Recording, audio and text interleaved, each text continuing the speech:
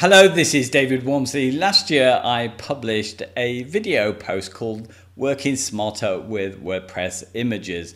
And this was a collection of tips that I'd collected and were implementing to speed up my workflow. And it included a script that would automatically add in SEO image metadata to the WordPress image fields. And I think the big thing for me last year was that I added via WordPress plugin a service, which in my case was ShortPixel, to be able to optimize my images automatically. Of course, there are other services out there. I also had some other tips on renaming custom thumbnails to make it easier for clients to understand and audition in images. All of these are great, but I still had a big issue with my images and this would often surface when a client would ask me about uploading their own images, say for blog posts. So what I would typically do is to send them a series of links so they could find free to use image libraries out there such as Unsplash, Pexels and Pixabay. These all have Creative Commons Zero licenses, so you can do what you like with the images. But still, I would need to explain what size they needed to download. And so often, even though WordPress would be set up to crop their images for them, they wouldn't necessarily crop the subject matter well. So if they didn't have a cropping tool, then I would need to give them a link to another free service online and explain how to use that and what size image to download again. And finally, to make my SEO script work, I would need to remind them to name their file as something that was SEO friendly and not to leave spaces in between names. So all of this process is pretty cumbersome, um, not just for them, but for me too.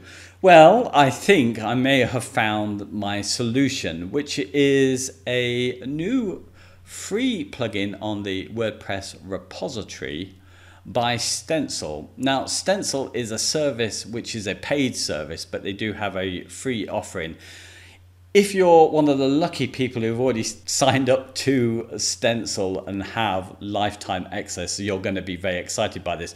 I still think the free service is really useful for clients in particular. And now with this plugin, and for my use, I would be happy to pay the annual subscriptions on this service. There's a lot of competition in this area. So online services where they allow you to create your images use most of them are using the now millions of good quality photos that are online. So there's a couple of million of those. They've got also icon they've got some templates on their paid service and quotes that you can add.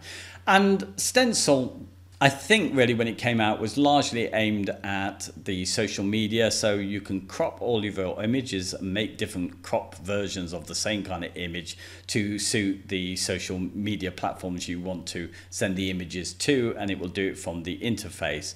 And for me out of all of the sort of similar tools like this stencil had got it right. They just got the right amount of power to do some really kind of cool things with your images but the user interface is so simple to use. So I really, really liked it. I've been using it over a couple of years, but I've not been using it that much because my need for social media images have been minor. And when it comes to WordPress, even though they've got a extension for Google Chrome that I could use, I still would need to make the images sign in, make the images, download those, rename them and upload them to WordPress. So this plugin solves this. It's now already there. Let me just quickly talk a bit about the pricing here because this is important. On the free service for clients, so there's only 10 images per month that they can get. There's no access to the templates and there is a limit on the photos and the icons.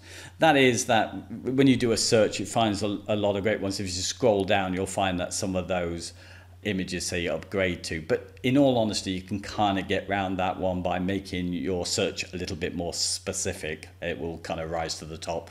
So you can probably get around that limitation, but no templates.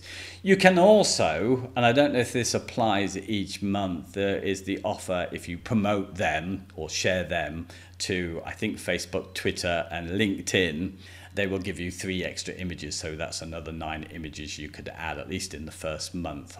So I think this is probably enough for most, but I think if anybody's got the use for WordPress Plus, social media, what better way to do it? Because if you start with your images while you're working in WordPress, you can then change those images to different size versions of those to promote to your social media. And this is always the big thing that I'm trying to get over to clients is that they probably want to invest their time into something they own themselves, their own blog post, and then share out to the social media and not the other way. The idea is to send the traffic from social media to your site, not the other way around. So I think it kind of reinforces that. So it's another reason why I quite like the idea of installing this plugin on every one of my clients' sites so I can use it and they can sign up as well. So let me just go over to a blog post which I created so I can remind myself what I need to say so the first thing is that the plugin will compress the images that you make and add them to your WordPress media library. So they're not hosting them for you. There is a maximum width size which is 1920 pixels, which is perfectly fine for me. In fact, I asked them if they'd move it from 1800 to this because they have to compress and upload these images to you eh, the time that it would take to do that. So I think this is a good thing. It works in the back end and also what they've added, and I'm so impressed with them because a number of people requested this, including me, that there is front end page builder support. So they've added that to Beaver Builder, which I use, Elementor and Divi as well. Maybe they will add more as they're requested, but they did this literally in a couple of days with all of those. I've tested it with Beaver Builder and it's fine with the third party add-ons and also when a client has restricted view. You can, let me just go over to a post here so I can just show you in the back end. So once you've got it installed, once you add media, it's just gonna I've gone straight to it because I was in there but it's just got a tab and you're in stencil here and you can start to select things. If you're on the free version of this one you have to save before you can load it to your media library but if you're unlimited then you can just do that at any point here. And when you click on this it sets something off. I don't know if it's gonna oh okay I've already started to load this this is one of the other features I particularly like because I was having problems with people not, or rather leaving too many spaces when they name their images. You cannot go wrong with the system here. When you name the image, it will give that will be the file name for the image and if you type in anything with spaces it adds the dashes for you automatically so it's now a foolproof system for clients they just select their image and while I'm here, I'll just cover the other points that I can remember. What I really like about it is that even on the free side, you can add in, as I've done here, your own custom image sizes. So I'm going to do a video for the clients to just explain how they can find on their install what are the dimensions of the images that they might want to set up. There's also similar, let me just go and click on this, when it comes to being able to store color palette so I shall show them as well how to find the hexadecimal value so they can add in the colors and not kind of have those issues as well. So pretty cool stuff and I've just lost the plot. Let me go back to my list. Oh no let me just go and show you on Beaver Builder. So here it is on the front end. I'm in a restricted access view here and I'm in a row and there's my background image if I want to change that. I just go here and I'm back to my image. Okay, back to the article. You can add in your own fonts, but that's on the paid service. If you're using the free, you've got what they give you, which has the most popular, I should say, Google header fonts. I shall change that before I publish. Um, they're there. So I think it's probably enough. And in most cases, I don't think for the use I'm thinking of that you're really going to do that much where you add text to the images.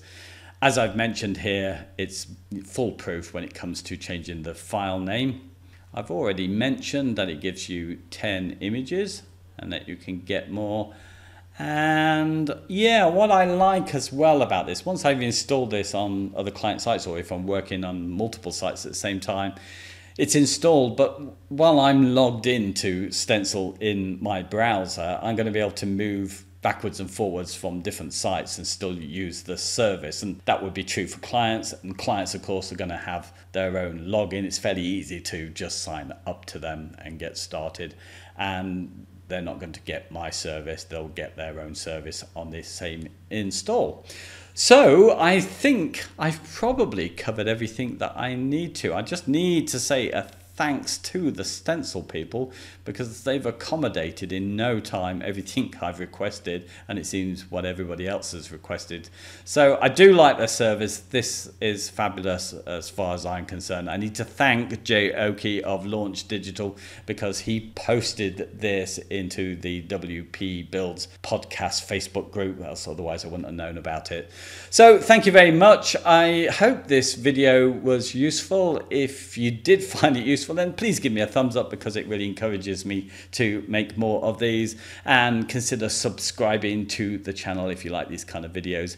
Anyway, thank you for listening to me. I hope you have a great day and hope to talk again to you soon. Bye bye.